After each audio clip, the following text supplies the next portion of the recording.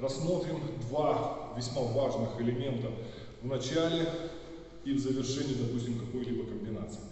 Ну все по порядку. Итак, первый элемент это стопинг. Мы не всегда успеем нанести мощный удар, когда противник ломится на нас. Поэтому самым простейшим будет действием это выставить руку, его остановить. То есть противник на нас двигается, мы его останавливаем на дистанции. Это позволяет нам, во-первых, прийти в состояние готовности, проконтролировать дистанцию. Если у нас есть какой-то девайс, ближайшей рукой мы его останавливаем и сразу же хватаемся за необходимый девайс и выводим его в состояние готовности. Точки для остановки. Лицо, верхняя часть. Не надо целиться именно в лоб, только может соскользнуть и противник дойдет до вас. Плечо, плечо, вверх груди в районе шеи. Вот это основные точки. Ниже уже бессмысленно, у вас не получится его остановить. Еще раз. Противник с нами сближается. Первое, мы остановили. Не пытаемся ударить, еще что-то. Именно остановить. Это будет быстрое, четкое движение.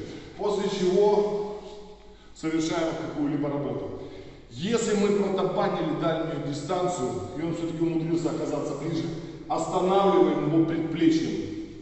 Таз чуть-чуть уходит назад, предплечье где-то уровень груди шеи, не перпендикулярно, чуть-чуть диагонально.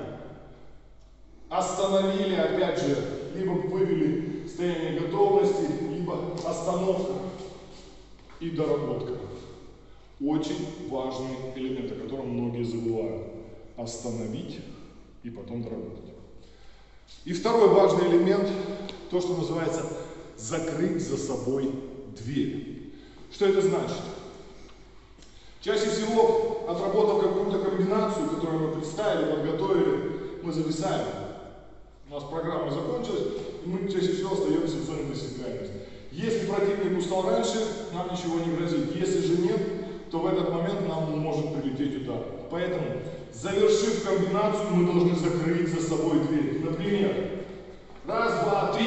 И свободной рукой я разорвал дистанцию, открыл, закрыл за собой дверь. Это мы можем наблюдать достаточно часто. Вошли в клинч, бам-бам-бам-бам, закрыли за собой дверь.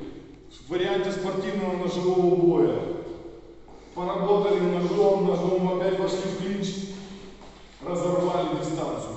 Обязательно закрывайте за собой дверь. Это касается как спортивных вариантов, так и условно прикладных. То есть на улице то же самое.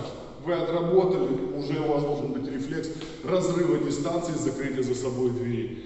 Если вы присмотритесь, мы постоянно эти два элемента можем видеть, опять же, профессионалов на ринге. Когда боксеры сходятся, раз остановил, здесь я перекрыл ему обзор для нанесения, остановил, не даю работы. Вот он стопинг. И пошло продолжение. И опять же, как только мы вошли в клинч, работа я вышел, не надо видеть, может не получиться, но закрыть за собой дверь получится всегда и обязательно. Подумайте и научитесь это использовать.